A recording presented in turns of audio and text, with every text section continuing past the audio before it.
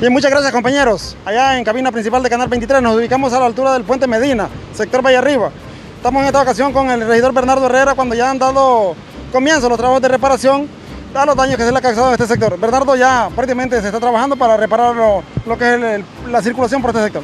Así es, así es. Gracias a la oportuna participación de la Standard Free Company a través de su gerente general, el ingeniero Augusto Mendoza, donde hemos estado en comunicación permanente desde el día de ayer antes que fuera la, la comunicación, donde hoy se empezaría a trabajar ya en los ejes carreteros, principalmente en los cabezales de los puentes que fueron dañados por el huracán Iota.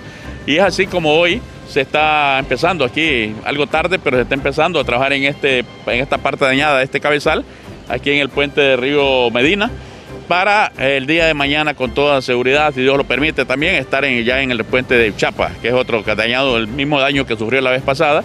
Recuerde que estos son daños, son daños ocasionados por esta lluvia fuerte, pero que lo que se está haciendo también son eh, eh, cuestiones de emergencia que se están haciendo. Ya después le corresponde al gobierno hacer la estructura completa, porque aquí lo que se busca es, es que el paso sea fluida para tanto los vehículos que circulan, eh, con sus productos y lo mismo que la- el vehículo también de la Standard Free Company que pasan con la fruta para su exportación a la- en Trujillo. Vemos en este momento, Bernardo, que hay bastante eh, tráfico, vemos bastantes carros en ambos sectores, se ha paralizado un poco el tráfico con la intención de trabajar tranquilamente y luego darle salida a los mismos. Así es, don Augusto nos pidió que le dijéramos a los policías militares que colaboraran con ellos para que así eh, este, este fluido vehicular que estaba aquí no estuviera interrumpiendo lo que es la- el trabajo de aquí de los ingenieros y de las máquinas. Entonces, eh, por eso se les pidió a los militares, aquí están ellos, controlando el tráfico para que no evitar que hayan accidentes y que puedan provocarse situaciones que podamos lamentar.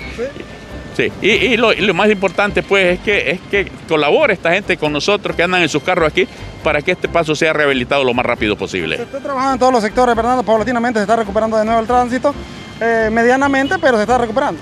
Así es, yo anduve por la mañana hasta Armenia, logré pasar. Eh, no tuvimos ningún problema en el trabajo que se hizo la vez pasada. Uchapa va a ser mañana.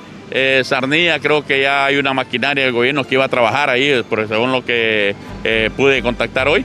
Y entonces es lo que se busca es rehabilitar en todo este sector lo más rápido posible, porque me dijo un Augusto que ellos van a trabajar hasta pegar a Trujillo. Entonces así está la situación y esperemos que, que esto sea este, un trabajo que se ejecute lo más rápido posible para que todo el mundo pueda circular libremente.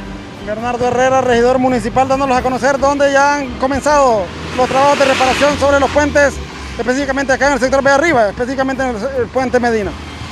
Compañeros, con esto retorno al control principal.